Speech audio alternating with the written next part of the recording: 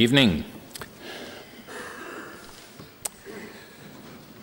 We have a very substantial area to cover this evening, two main areas, and we're going to have to um, fly right along. I hope you'll be able to keep up uh, with uh, my rather hurried pace. I'm sorry about that. But I would like to begin this evening by reading a few sections from 1 Corinthians, first of all in chapter 11, and then in chapter 14.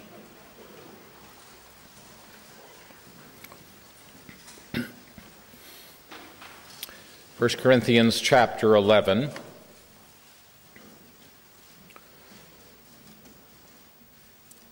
The apostle at the end of the chap- uh, previous chapter has said, do all to the glory of God.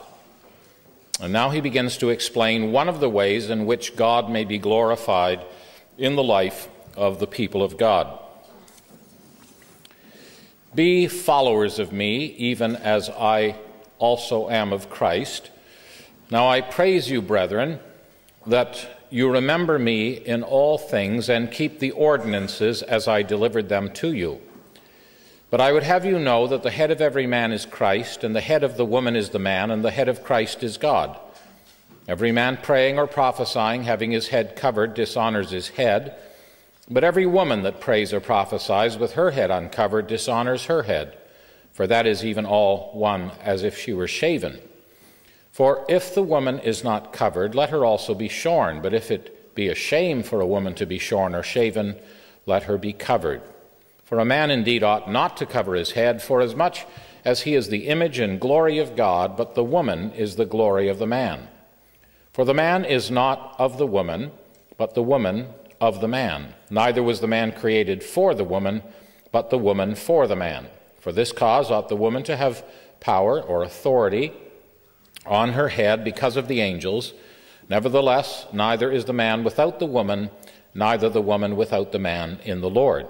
For as the woman is of the man, even so is the man also by the woman, but all things of God. Judge in yourselves, is it comely that a woman pray unto God uncovered? Doth not even nature itself teach you that if a man have long hair, it is a shame unto him? But if a woman have long hair, it is a glory to her, for her hair is given her for a covering. But if any man seem to be contentious, we have no such custom, neither the churches of God. That is no other practice.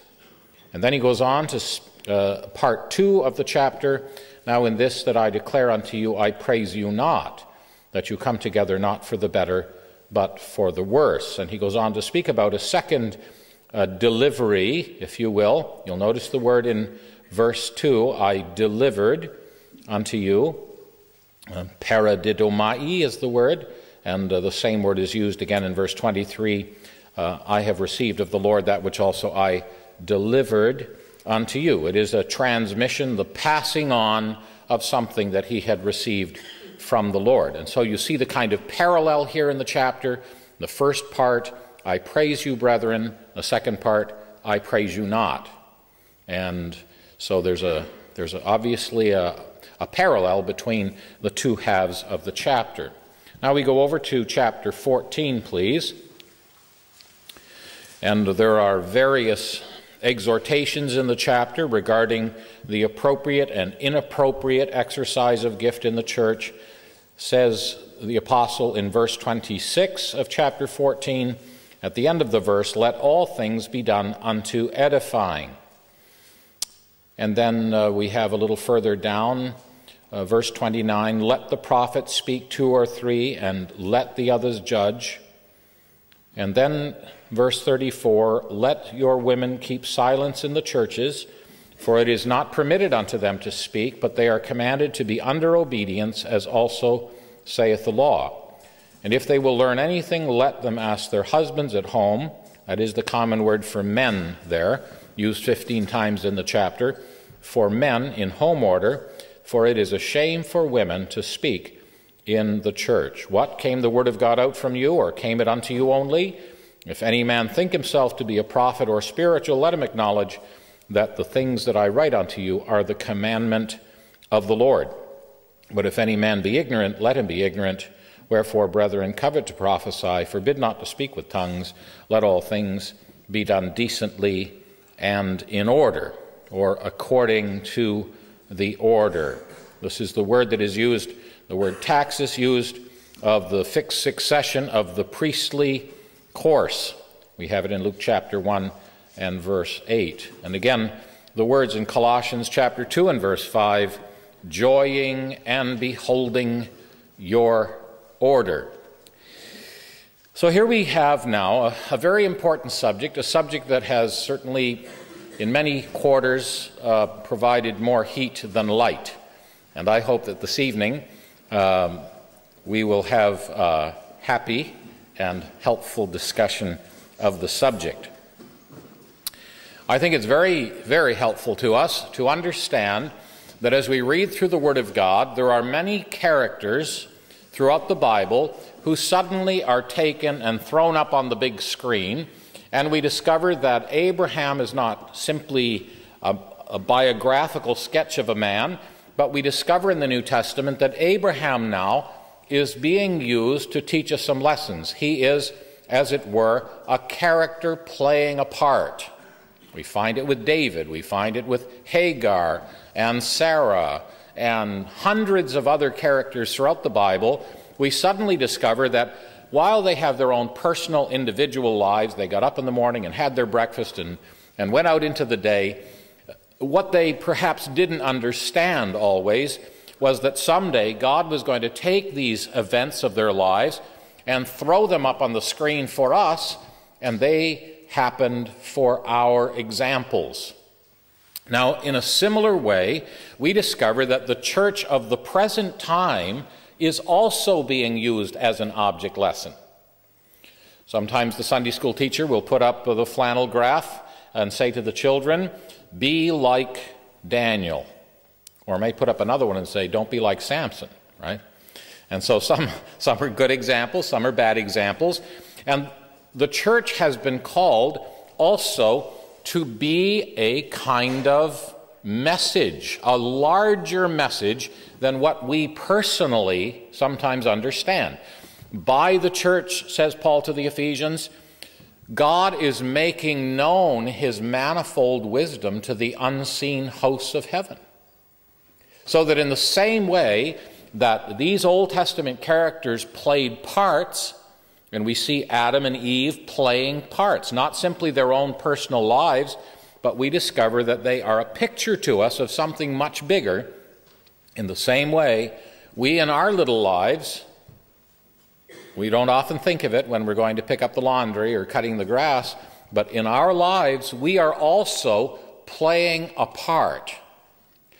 And we see this very clearly explained to us in passages like Ephesians 5 and also here in 1 Corinthians 11 that the men have been called on to play a part. And that part is the part of Christ. It's a very, very solemn thing, both in the home and in the church. In the home, Ephesians chapter 5 tells us that the man is to love his wife as Christ loved the church and gave himself for it. He couldn't have said it any stronger, could he? Wherever we got the idea that the man was Lord over his wife, we have missed the point significantly, haven't we? Because the Lord Jesus served the church. We don't have to guess how he did it, the scripture tells us how. As Christ loved the church and gave himself for it. And so the man is to be a servant in the relationship. Any woman will find it much easier to submit to her husband if her husband is the servant in the relationship. That's the idea, isn't it? In the same way, in the church, we see that there is a very specific order established, and once again, the woman plays the part of the bride and the man plays the part of the groom. Now, this idea begins in Genesis and concludes in Revelation, and all the way through Scripture, we have this, this love story always just below the surface, don't we? And we can't help but read even the little book of Ruth, or the book of Esther, or to read uh, the stories of, of many of these uh, patriarchs of old without catching a glimpse of this idea of the bridegroom seeking a bride and wooing the bride. And uh, these great bridegroom stories throughout the Bible have their consummation in that glorious day in Revelation chapter 19, the chapter of the New Testament in which all the hallelujahs in the New Testament are found. It must be quite a day. The day of the bride and the groom. The, the, the bridegroom, the heavenly bridegroom, the Lamb's wife, at last has made herself ready, and the bridegroom presents his bride. So, this helps us a great deal if we can put these glasses on when we read a passage like this and we read these words, for example, which may grate on the sisters when they first read it. The man was not made for the woman, the woman was made for the man. It's a bit of an irritation, isn't it? Well, let me translate it for you then. The, the Lord Jesus was not made for the church, but the church was made for the Lord Jesus. That's really what's being said here. That's the big picture. And so when God created Adam and Eve, he could have done it any way he liked, but he made them one creative act. He took something out of Adam, he took some of his life. And the scripture says that Adam's first love song to his wife went like this Bone of my bone, flesh of my flesh. She shall be called Isha, for she was taken out of Ish. That's the idea, you see. And so this is exactly where we are today. We too are the bride of the wounded side, and we have actually become bone of his bone, flesh of his flesh. We are the body of Christ, and we share his life. We are not an independent creation. We have, as it were, been brought out of him. Now, the apostle goes on and he makes it clear that while the man is not uh, out of the woman, verse 8 of chapter 11. The woman is out of the man. Neither was the man created for the woman, but the woman for the man. This again is, throw it on the big screen, ladies and gentlemen. The idea being, Christ is not in heaven to do our will, we are on earth to do his will. He wasn't made for us, we were made for him. We don't expect him to live for our pleasure. We are to live for his pleasure. For his pleasure, we are and were created. So if we can just get that picture in our mind, that's the story. He goes on to say in verse 11, Nevertheless, neither is the woman without the man, nor the, uh, neither the woman pardon me, neither is the man without the woman, neither the woman without the man in the Lord. For as the woman is of the man, all right, in other words, Eve was out of Adam, even so is the man also by the woman. In other words, ever since the first woman came out of a man, every man has come out of a woman.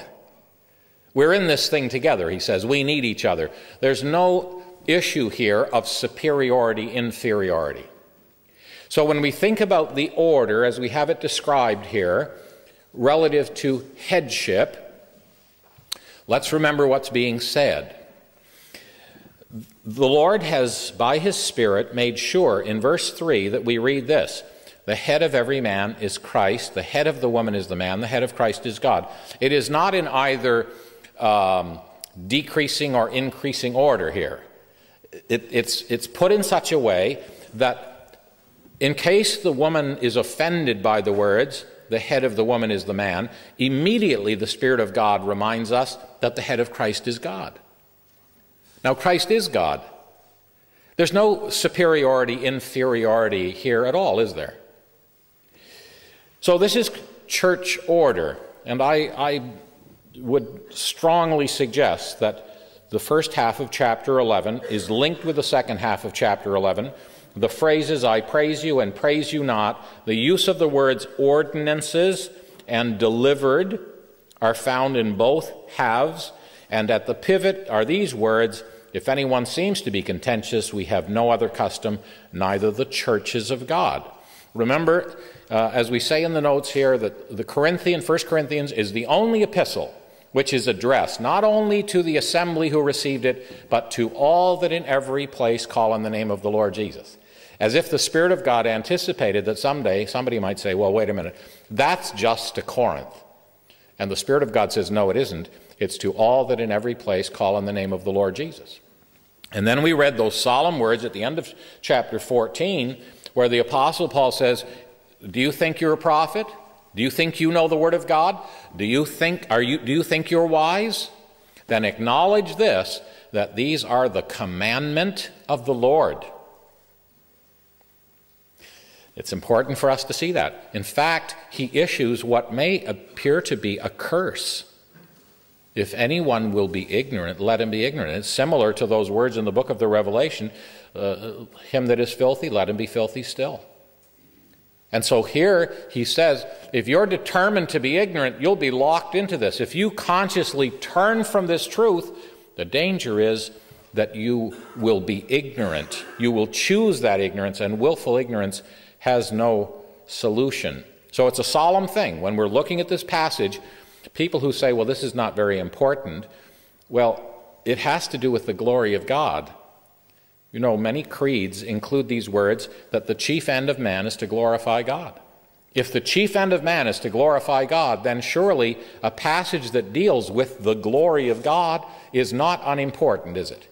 It's a very significant passage.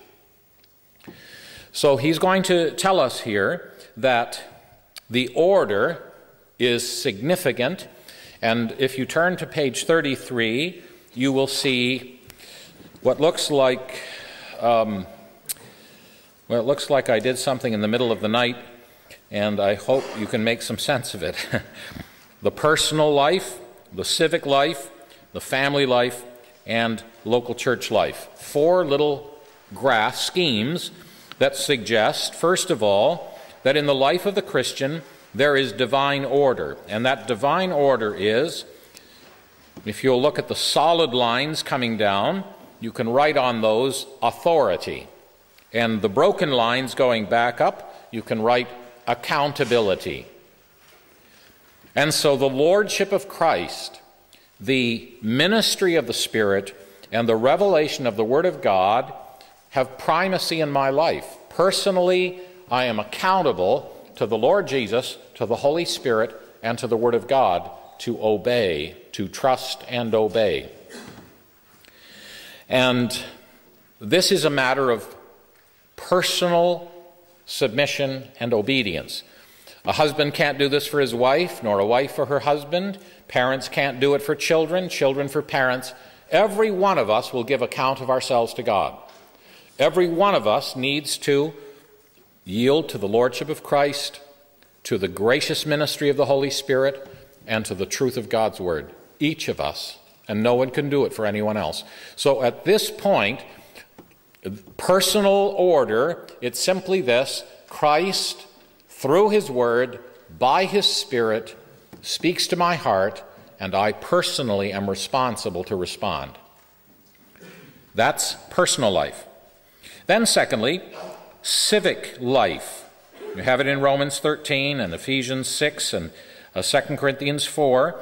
And here we see that the child of God is in the world but not of it, is expected, first of all, to submit to employers, secondly, to government, and thirdly, to have a relationship with unbelievers.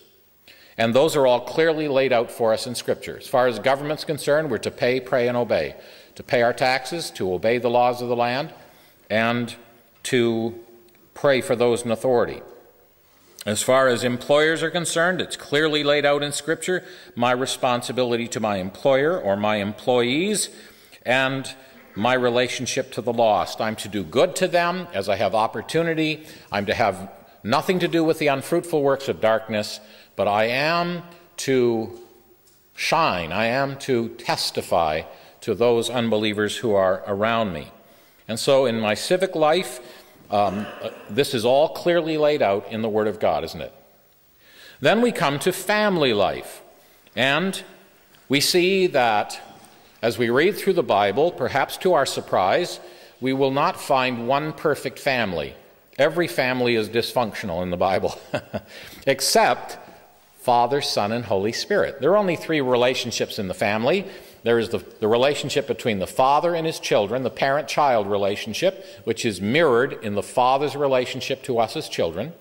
There is the husband wife relationship, which is mirrored for us in Christ and his relationship to the church. And there is the brother sister relationship, which is mirrored for us in the bond of the Spirit, which links us together.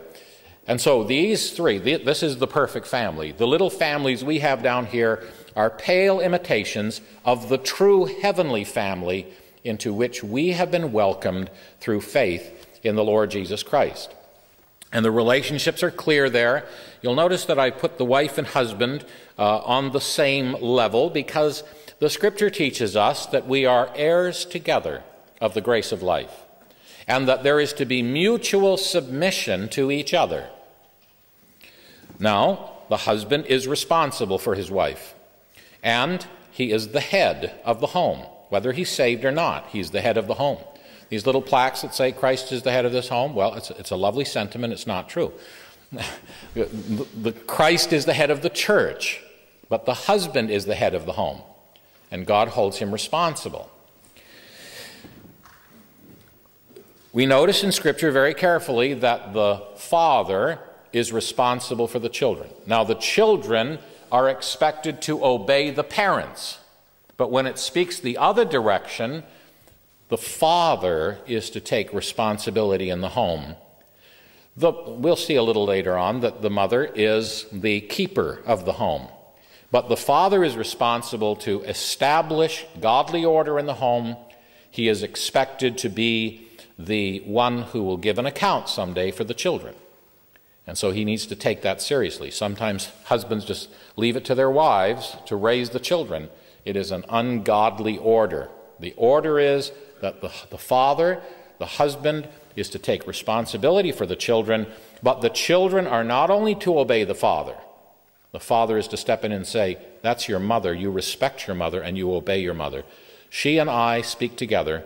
We agree, and you obey mother. And that's, that's a responsibility. Very often the children will respond to the voice of the father before they'll respond to the voice of the mother. And the children have to learn that mother speaks on behalf of husband, wife, and that we speak the same thing. We're united in raising children. So, again, this is all laid out for us in Scripture, and uh, it's, it's quite clearly given. Then we come to local church life. And in, in local church life, we notice uh, the elders care for each other, they give an account to one another. And if there's an unruly elder, it's not the flock that should deal with it, the elders should deal with an unruly elder. The elders then uh, take care of the flock, and those who are in their local church care are expected to obey, to know, to pray for, to encourage, and many other such words, the elders. Now we notice that the Lord has, shall we say, an independent uh, connection with all of his people, so that even though the elders may fail, the Lord doesn't fail. He is able to minister to our souls. We go out to a meeting, and unfortunately, the ministry is less than adequate. If we go out to hear the voice of the Lord, He'll still speak to us. He can use the verse of a hymn or the text hanging on the wall. He can do anything He likes. He will not turn us away hungry if we come looking for His truth. Even though men fail, God doesn't fail. And so the Lord is able to minister individually to the people in the, in the church. Um, but the way he loves to do it is through his servants, through the elders, as they care for the flock. So the order again is clear the Lord of the churches, the elders of the local church, and the flock working together, encouraging each other, mutual submission to one another, and submitting to the elders, who then submit to the Lord of the churches, the chief shepherd himself. Now we come to this issue of understanding order, page 36. And uh, let me say that uh, we're going to have to go rather quickly through this. I have spoken in Northern Ireland on the subject before, on the subject of headship and glory and the head covering. And if you'd like a tape on that subject, which deals with it very comprehensively, you can sign up over at the book table a little later on to get that tape if you're interested. But I, would like to point out a few things very briefly here. Um, very often people will ask, okay, I understand this idea of uh, submission, uh, the women are to be silent, and so on. The question is when? That's the big issue, isn't it? When is the head covering to be in place? When are the women to be silent in the churches? Well, we've noted on other evenings that the silence of the women is not in some, some sort of blanket silence, is it? Because the women are free to sing congregationally, they're free to say Amen at the end of a prayer. Why are they free to do that?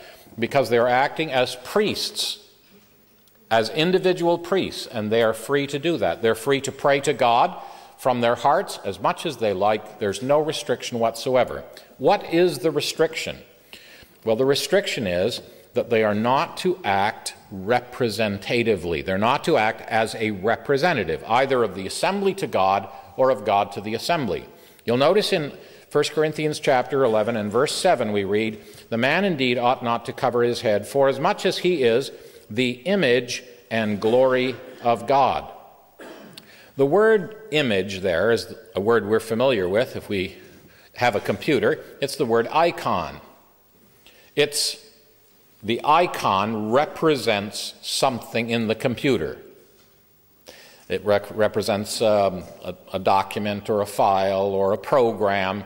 It's an icon. And this is the idea that the man represents the Lord in the local assembly. He's not the Lord, but he represents the Lord. This is a different word than the Hebrew word that's used in the creation story where God said, Let us make man in our image. In the image of God created he him, male and female created he them. And God called their name Adam. You ever wonder why the women take the names of their husbands? Well, there it is. God called their name Adam. He saw them as one creative act sharing a common life. Two are made one. So, in that instance, the word image has to do with likeness, with, with moral likeness. God gave man the kind of com composition so that man could have fellowship with God. And the man and the woman share this composition spirit, soul, and body. We have the equipment, if you will, to fellowship with God. That's what's being referred to there. And man and woman equally were made in the image of God in that Hebrew sense. But here, it's a different word. It means that the man is the representative of God, and he is the glory of God. Now, what does this mean? Well, glory is the outward expression of inward nature. No one sees God, no one can see God, but we can see the glory of God. No one can see the sun.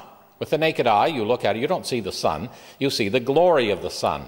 You see the outshining of the sun, and the rays that come from the sun tell you something about the nature of the sun. And so it is with God. God has manifested himself in the church, revealing himself through the man. Now, it's not the man's personality, uh, his uh, clever wit. it's that the man speaks the word of God. It's that the man represents God, speaking as the oracles of God, and he also represents the church. So praying and prophesying, I take it in this passage, are used in their widest sense. Praying is anything that we say to God. It includes intercession, supplication, praise, worship, thanksgiving. And, and um, prophesying is anything that God says to us. In the next chapter, he defines it as anything that is to edification, exhortation, and comfort. So it's being used in the widest sense. The man represents God to the assembly when we open his word and we speak his mind as the oracles of God. Likewise, when the man represents the assembly in prayer, he comes to God in prayer, and he represents the assembly. Says Paul, be careful how you pray so everyone can say Amen. It's their prayer too. You represent the whole assembly when you stand to pray. And that's why we pray in the plural. We don't say, I thank you for this and that. We say we because we're praying for the whole assembly. Are we all together yet? Good. So the man is the glory of God. What does that mean? It means this that man was what he was. Now, this is symbolic. Let's remember that. This is symbolic. Man was what he was because of what came out of God. Man was made of the dust of the ground, but he wasn't a living soul until God breathed into his nostrils the breath of life and man became a living soul. So man was what he was because of what came out of God, different than all the other creatures. The woman was what she was because of what came out of man. It was a different thing, wasn't it? A different order. And the purpose is this to show us on the grand scale that the Lord Jesus is God manifest in flesh, and He has given His life for us, and we share that life. And we are to represent, we are to reveal, the church is to reveal Christ in the world. So this, this order is put up on the big screen here, and we see Adam and Eve, a picture of Christ in the church, now represented in the church by the man and a woman. This is not husband wife order, it is man woman order. Any and every man is ahead of any and every woman in the church in the same way that any and every name beginning with the letter A is in the phone book ahead of my name, Nicholson. If, if I get my phone book and say, there it is again, I'm on page 627, I hate this. And I call up the phone company, I say, I demand that you put me on page one.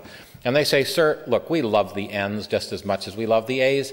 But you know, this is called alphabetical order. I hope you're not offended. The A's are not more important than the N's. It's just that if we're ever going to find a phone number, there has to be order. It's called alphabetical order. We have numerical order, we have chronological order, and we have church order. It has nothing to do with importance. We see that because Christ, we read, the head of Christ is God. It has nothing to do with significance, importance, value. It has to do with order. Period. All right? So if we can get a hold of that, that in order for God to accomplish his purposes, Christ was willing to submit himself to God. The man is to be willing to submit himself to Christ. And the woman is to be willing to submit herself to the man in church order. Again, it has nothing to do with husband-wife relationship. When we get to first uh, to Ephesians chapter 5, we'll see it's put, shall we say, in parallel rather than in series.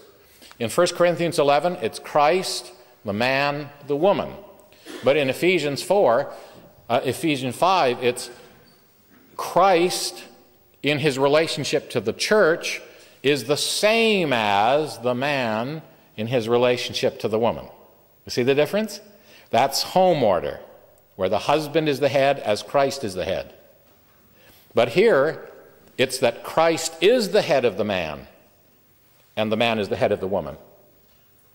And in the same way that Christ willingly submitted himself to God in order to accomplish the purposes and glorify God on the earth, as he said in John 17, so the man is to submit to Christ to glorify God on the earth by speaking the very word of God, not his own words, by praying in a way that is honoring to God, not his own thoughts, not his own way, but coming to God and then bringing the word of God to the people of God, acting as his representative. In the same way, says the scripture, the woman is the glory of the man. Now, it's a beautiful thing, isn't it, when we see the picture the king's daughter is all glorious within. The church is beautiful. It doesn't look beautiful on the outside. Just like the tabernacle of old, it looked like a hump in the desert. There was nothing beautiful about the, the tabernacle on the old outside. It, the beauty was seen when you got inside. And so it is with the church. The church isn't very attractive on the outside, but inside there is a glory because the Lord is there. The Lord has moved into the church and has taken up his residence. The only place that the Lord feels at home on earth is in the hearts of his people, it's in the assembly of the saints. So, when we think of this order, we recognize God's design and we submit happily to it. And um, the little scheme at the top of page 37 suggests these two themes, these two ideas of headship and glory. And you'll notice that uh, relative to headship, the woman's hair is not mentioned, and relative to glory, God is not mentioned. Uh, as far as glory is concerned, the man is the glory of Christ, the woman is the glory of the man, uh, the, her hair is her own glory. Pardon me, that arrow should go up to be the glory of God. Christ is not mentioned there.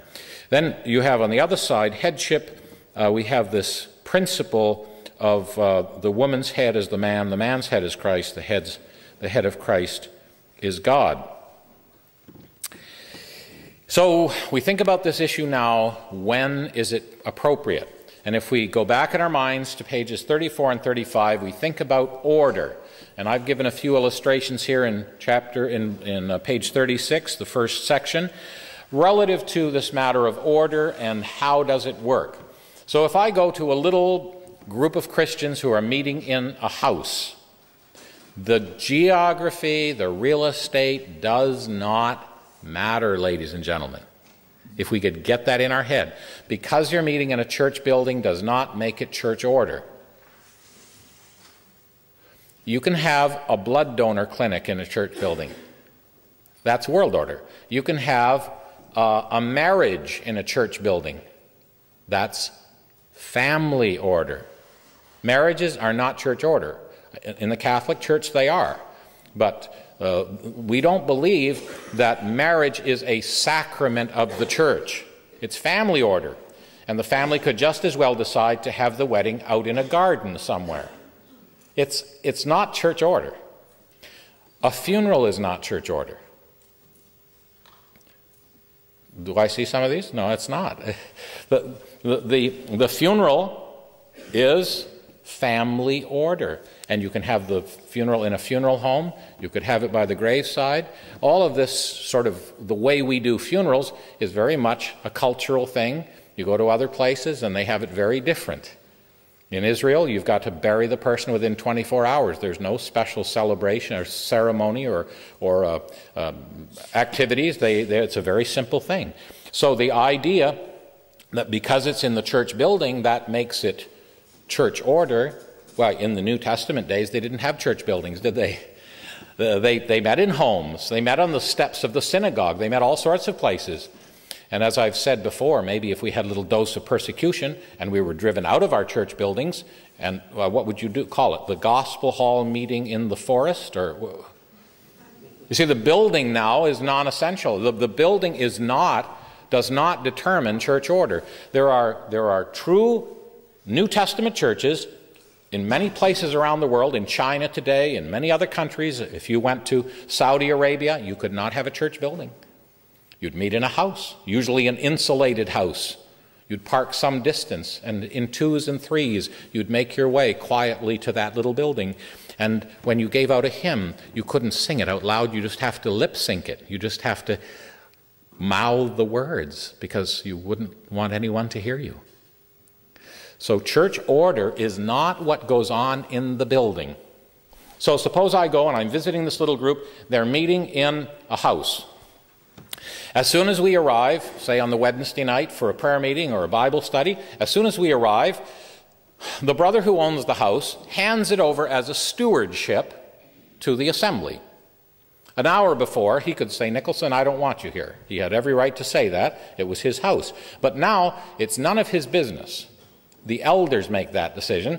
And if, if he doesn't, can't deal with that, then they better meet somewhere else. Maybe that was Diotrephes. Maybe he owned the house.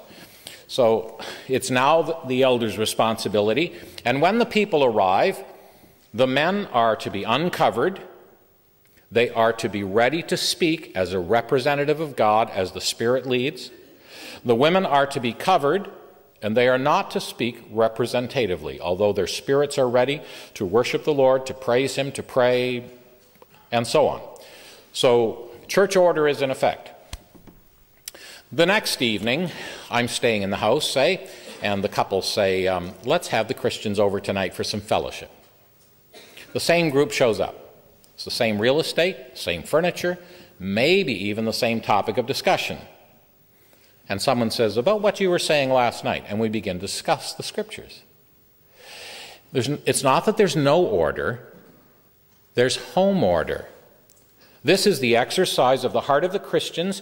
They are showing hospitality to the saints. They have welcomed them into their house.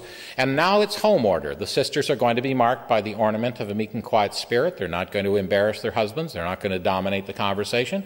But they are free to ask their questions in home order. And I think if we had more of this, where the sisters could ask their questions, because sometimes they're single, or their husbands are not saved, or their husbands are not spiritually interested, they need answers to their spiritual questions. And we need to provide that environment. It would relieve the pressure on the local church sometimes to provide that kind of environment if we were doing it in home order. So it's a different order. It's not that there's no order. The day before, if something went wrong, the elders would be held accountable. But today, if something goes wrong, the husband is held accountable as the head of the home. So that's really the question. Who is accountable? If, if the answer is the elders of the local assembly, then it's church order with certain limitations. We recognized earlier that sometimes uh, church business has to be carried on, but not in church order. For example, if a couple's having marital problems, the elders meet with them. It, the whole church is not welcome. It's a private matter, and the sister would certainly be free to say whatever she wanted to say, right? So uh, there are meetings that relate to the church that are not necessarily church meetings in that sense. Where you have uh, elders' meetings, the whole church is not expected to come. So there are particular meetings we noticed in Acts 2:42 that are the responsibility, the mandate of the elders to, to pro provide for the people of God in these distinct ways. Those are the meetings of the church. But there are other gatherings of the Lord's people that have to do with outreach. There are ladies' meetings, there are Sunday school work, all sorts of other meetings. They are not technically meetings where the church is welcome. If you brethren showed up at a ladies' meeting, believe me, you would be unwelcome. That, that's not the purpose of them. So when we're talking about church order, we're talking about the elders accountable, fulfilling their mandate to provide these four basic reasons for gathering. And there are other events where Christians gather together. It's, it's home order. It's not church order. Now, God wants someone accountable. It's not a matter of, of doing things out of order and having no one accountable. God wants someone to be accountable for what goes on. And so it's important that we be in one of those orders whenever we're involved in the things of God. Now, I'm going to leave that subject because we're getting well on in our time, and there may be some of you who have some questions about that, and you know where the question box is. And I leave that to you.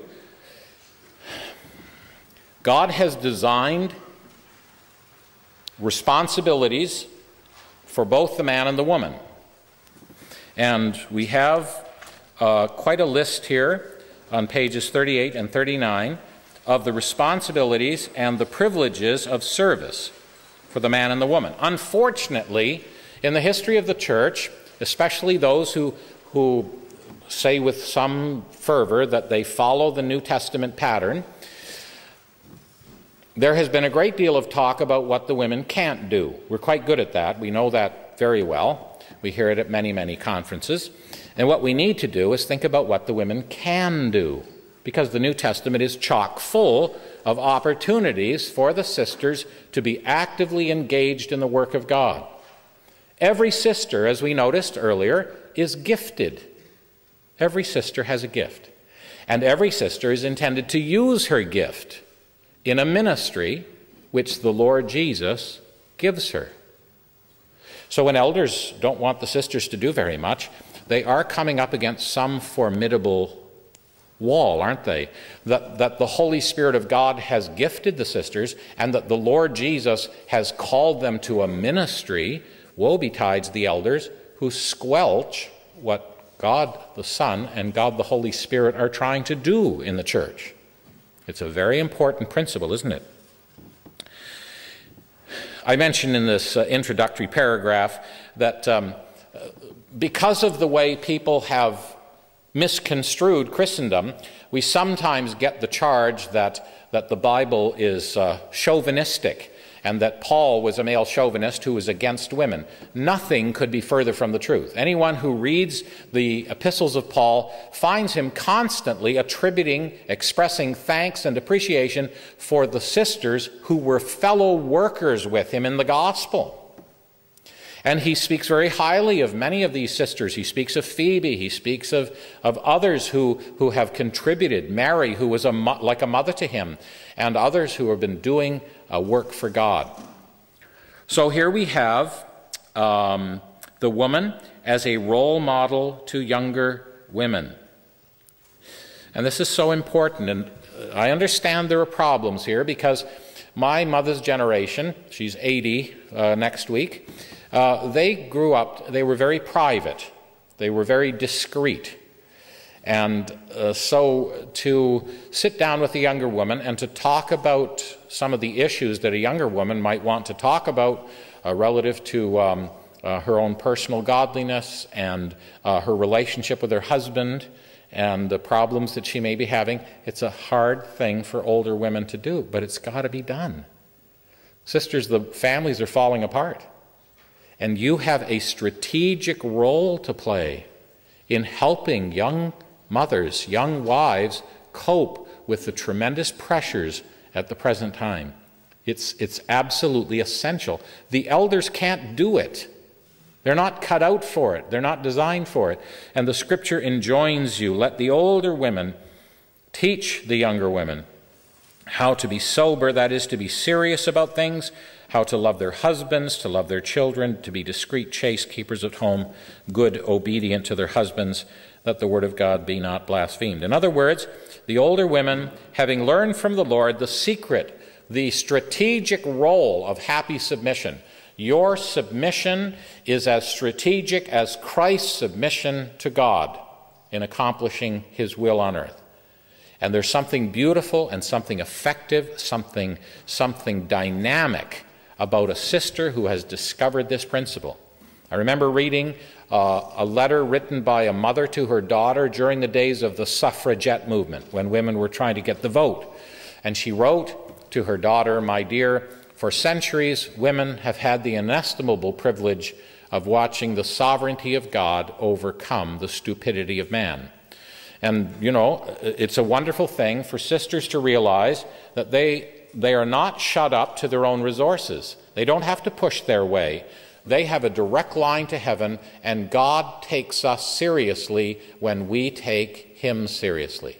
And that's the whole point that Sarah called Abraham Lord in her heart.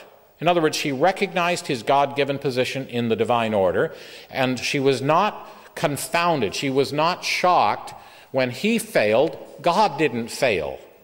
We see it in, in Egypt, we see it again in, um, in Gerar, that when, when Abraham failed his wife, he should have been there. He didn't protect her, he wasn't there for her. God stepped in, and he was there for her.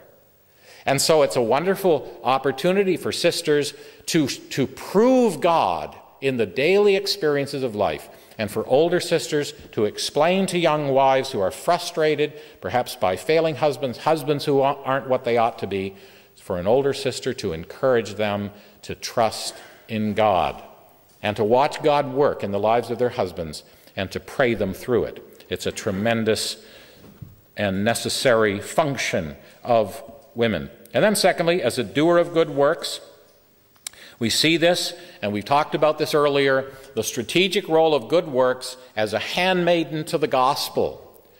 And we need to get back to that. We need to see good works happening in the community. And I've talked about places where I've gone for gospel efforts, and most of the unsaved have been brought along by a few women who are doers of good in the community. And when it's time for a gospel effort, they have an influence in the lives of people that other people don't have. Owe no man anything but to love one another. If I love you, you owe me. And the, and the gospel is greatly helped by the winsome influence of those who are doers of good works in the community. And then, number three, as being saved through childbearing. Interesting phrase. We have it in 1 Timothy 2:15. The idea being that mothers raise children for God. That's their business, to raise children for God, more important than the President of the United States. And Hannah's prayer in 1 Samuel 2 describes the strategic role of women who raise children for God. Now, because we now belong to two families, we have our own family, but we also have the family of God, there are women who in the sovereign purposes of God, are not given physical children of their own. And I have met some of these, sometimes referred to as mothers in Israel, who then say, if this is the will of God, then I will be a mother to all those who are motherless. And what a wonderful ministry they have. I think of a couple in Windsor, Ontario, Mr. and Mrs. Vic Salmons. They had no children of their own.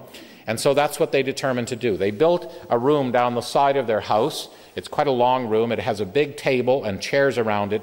And every Sunday at lunch, they invite all of the international students and the Christian young people who have no place to go, whose parents are not saved, and, and they come together and they sit around that table, maybe 35 or 40. The last time I was there, after the meal, I was asked to give a word in the gospel, which is standard every week. And uh, there were some uh, Hindus from India, there were some Muslims from Jordan, there were some communist Chinese sitting around that table listening to the gospel. And this couple has spiritual children all over the world. It's not easy if you long to have children and the Lord doesn't give you children. I happen to know because well, my daughter is in that situation. And it's marvelous to see the grace of God at work in her heart. She spends a lot of her time helping a young lady who has two children and then had triplets. and so she's over there looking after someone else's children. Now, you need the grace of God to do that when you long to have your own.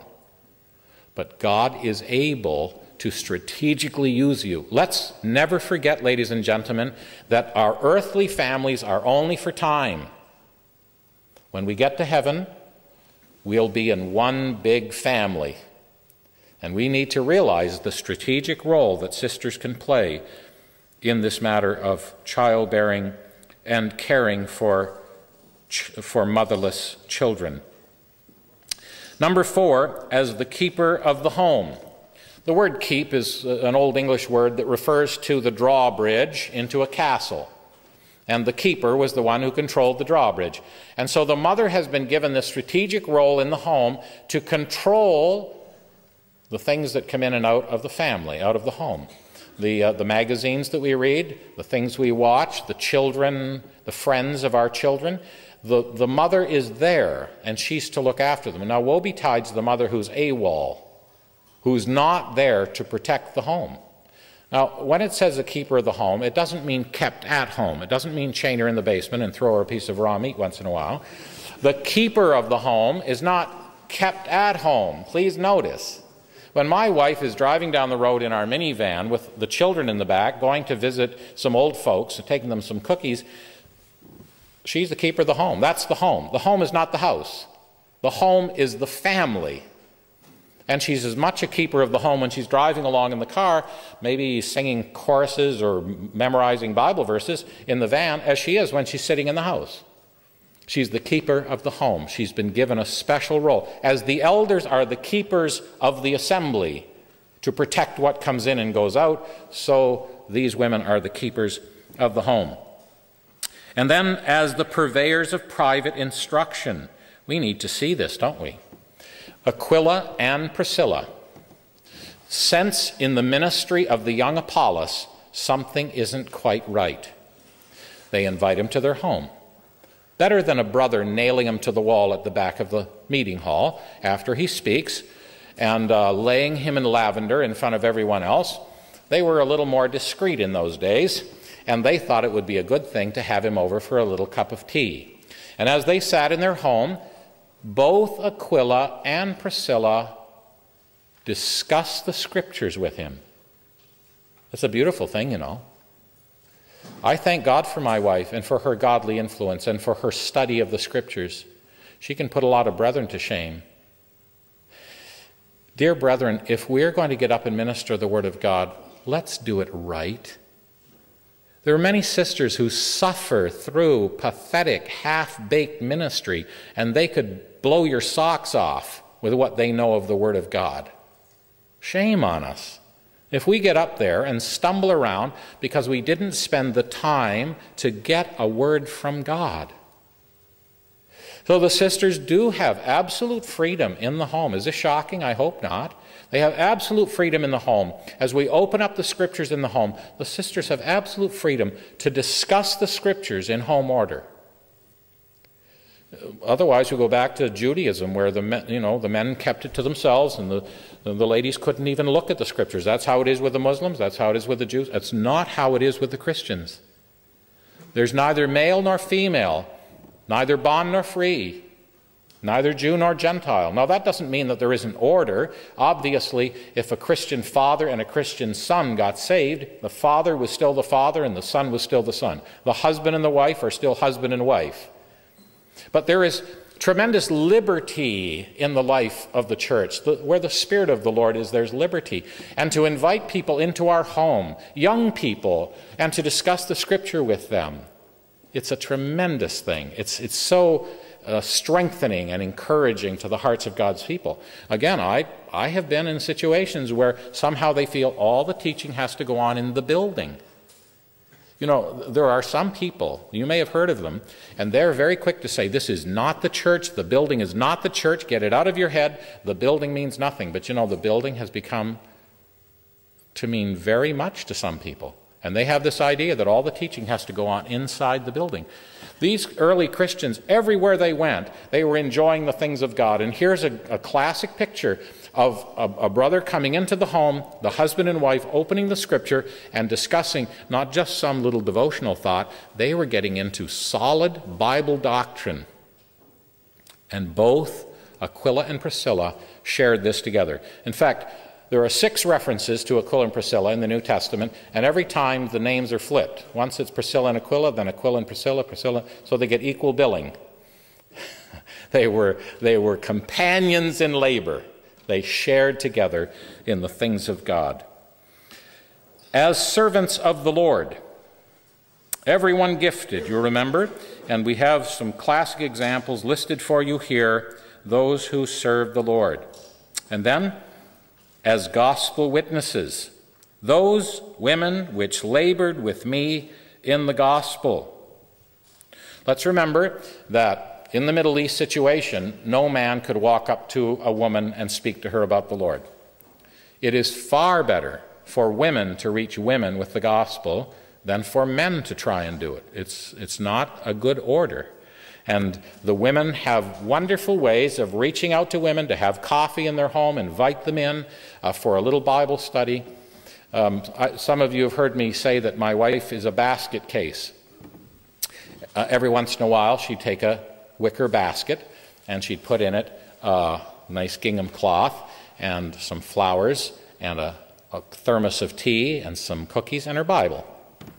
And uh, she would call up one of the neighbors and say, I'd like to come over for tea. Don't get anything ready. I've got everything. And she would bring it in and she'd lay it all out, including her Bible, and uh, they'd sit down together and she'd say, Listen, I was reading this. You'll, you'll really appreciate this. I was reading this just the other day. I, th- I thought of you. I thought this would be an encouragement to you. And she'd read a little scripture to them. And she'd have an opportunity in the gospel. And eventually, my wife was able, they had a coffee hour at our assembly. She was able to bring almost the whole street with her because she was willing to go into the home and open up the Word of God with them. We need to do this. I mean, our neighbors around us are going to hell. And we need to, we need to be winsome. We need to find ways to invite them in into, under the sound of the gospel. Most of them will be highly intimidated to come out to hear the gospel preached, especially if their husbands are resistant. And so here's a way to invite the ladies in to hear the word of God.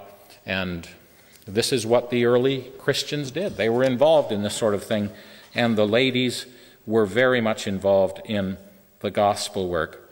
As examples of holy living, and I make some suggestions here.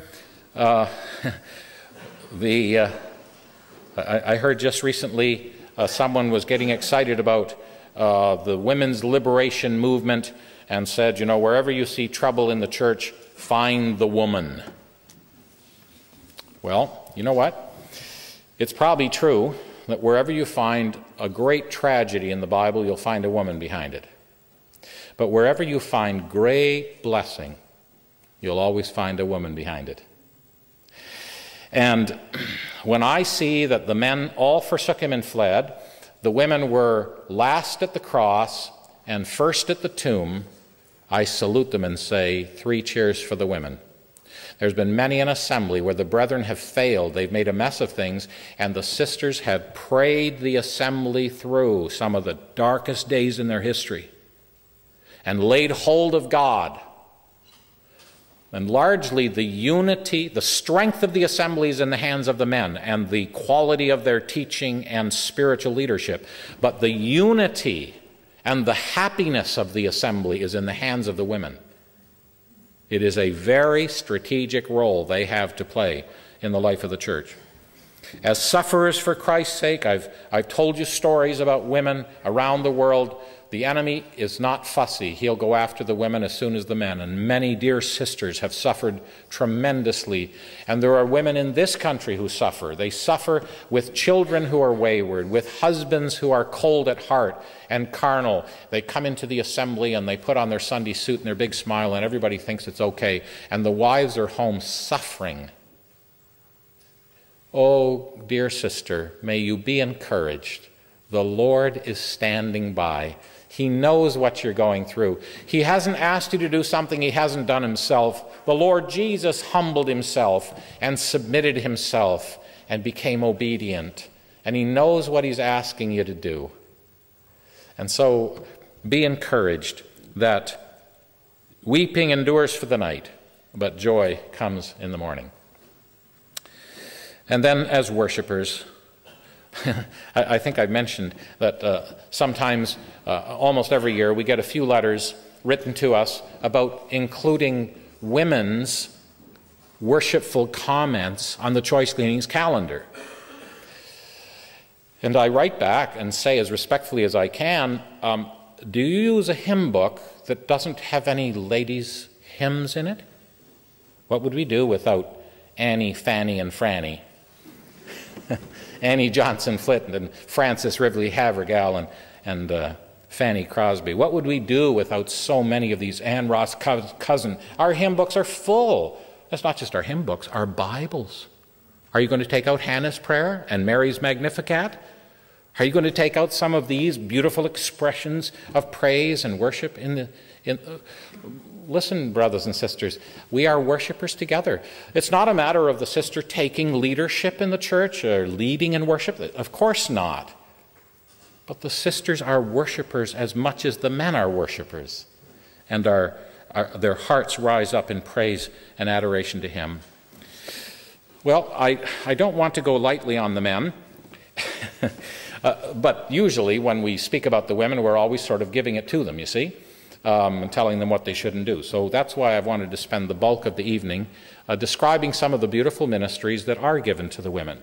But I would say this that much of the pressure for women to move into leadership is because of the failure of men to take their responsibility seriously. We put it on the women, but brethren, uh, if, if, if men were servant leaders, as our Lord Jesus is, the sisters would, would be happy to follow in that spiritual guidance. They would be happy to have men who are men of God, who have that combination of strength, spiritual strength, and spiritual tenderness that comes by knowing Christ, because that's exactly what he's like. But I leave this with you um, our responsibility to function as the image and glory of God, to be holy and royal priests, along with the sisters.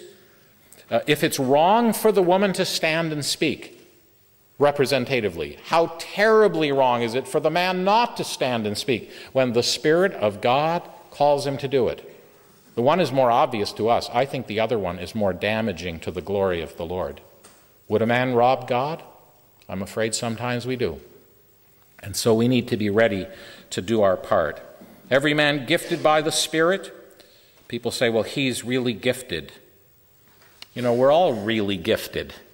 And when you say gift, there's nothing to be proud of here. Gift is a bit of a clue that I had nothing to do with it. It's a gift. And we all are gifted and expected to use our gift. Every one, uh, every man a suppliant and intercessor. Some men elders, all are to be followers. Follow me, says Paul, as I follow Christ. Men as evangelists, but all to be witnesses. Certain evangelists, but all witnesses. Certain men gifted teachers, but all are to be students of the Word of God. Now, that was very hurried, and I know I've left large gaps, which means we'll have some really good questions in part two. All right? We'll just close with a word of prayer. Our Father, as we have been thinking of man woman order in the church, we thank Thee that behind it is the beautiful love story of one who loved and lost a while and came wooing back that which he had lost. O oh, Father, is it really true that we shall be the eternal companions of thy blessed Son, the object of his care and kindness and compassion? And so shall we ever be with the Lord. We thank thee, O God that we who are sinners of the Gentiles, far from God, without hope, have been made so near that he would speak of us as bone of his bone, flesh of his flesh, that we should be recipients of the very life of Christ, one with him forever.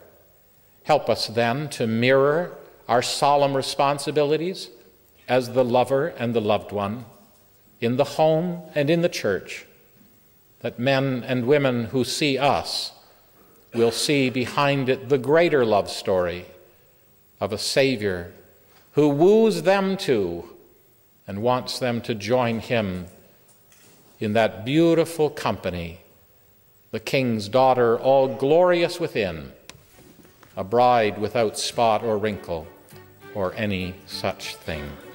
We ask it in the Savior's name.